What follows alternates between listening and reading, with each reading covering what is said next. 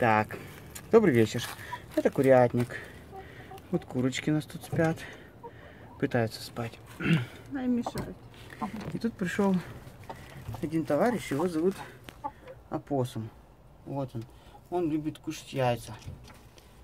Он прикинулся курочкой и сидит яйца кушает. Это не крыса, это опоссум. Такие уши у него смешные, он так себе шевелит. Я все сижу и сижу и ушами шевелю. Че, тебе страшно? Не бойся, мы тебя не съедим.